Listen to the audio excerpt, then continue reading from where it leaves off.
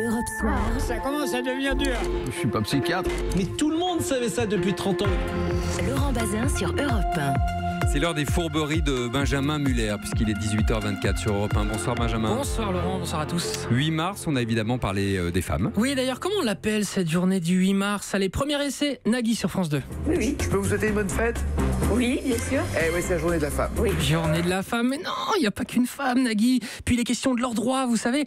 Allez, autre essai, journal de 13h de France Inter, tout à l'heure. 8 mars, donc, journée mondiale de lutte contre le droit des femmes, illustration. Ah, oui, quand lutte même. Ah oui, ah contre oui, le là, droit oui, des ça femmes. c'est pas de bol là. Toujours pas, Laurent, on dit Donc bien. journée internationale des droits des femmes. Et voilà, c'est pourtant pas Vous compliqué. Alors- l'aviez écrit. hein. Ouais, je suis sympa. Alors, Lina a fait un petit montage sur son site sur la manière dont on parlait des femmes à la télé il y a quelques années. C'est bien.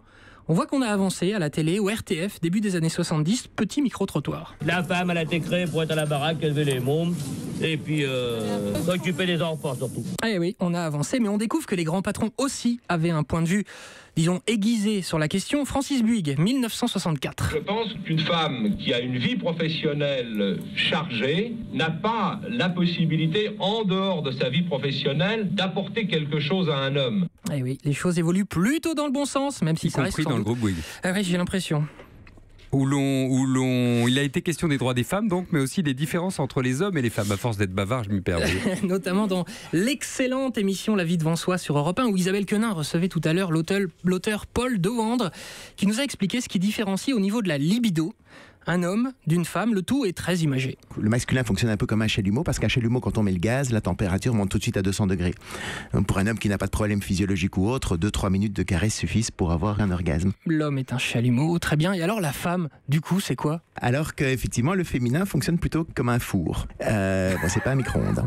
Un four Un four? 20 à 30 minutes pour chauffer le four. Dans, le four, il y a une période de préchauffage, évidemment aussi. hein. donc toujours euh, faire attention aux préliminaires, même si on se connaît depuis des années. Mais l'avantage du four, c'est qu'il continue à rester chaud après qu'on a coupé le gaz. Alors que le chalumeau, une fois qu'on a allumé la flamme, on s'endort direct, c'est bien connu. C'est d'ailleurs un reproche récurrent. À part ça, une rencontre artistique intéressante ce matin chez Patrick Cohen. Rencontre entre Julien Doré et Florence Foresti. Florence Foresti très forte pour tenter de se placer.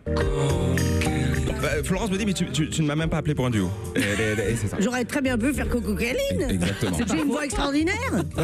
Regarde, j'ai une voix Coco Caline.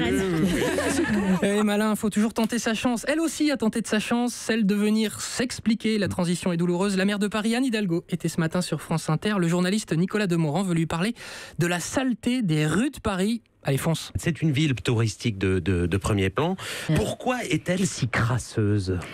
Et là, il se dit, crasseuse, c'est pas mal, mais c'est peut-être pas assez fort. Va plus loin. Pourquoi Paris est-il pourri d'abord, non. Pour- pourquoi vous dites ça? Alors pas- crasseux si vous non, préférez. franchement. et Mais c'est ce que je me dis quand je marche. Oui, Ah, mais crasseuse, pourrie, c'est pas sympa, mais rien qui risque d'entamer l'enthousiasme de la maire de Paris, je vous rassure. nous sommes la troisième ville la mieux gérée au monde d'après un palmarès du World Economic Mais Forum. oui, mais oui, mais oui, au moins la troisième, à mon avis, ça sent le vrai faux de l'info demain matin de Géraldine Wessner. Enfin, bien sûr. Merci pour ce petit coco câline, ce petit câlin du, du 8 mars. C'était Benjamin Muller. Europe 1.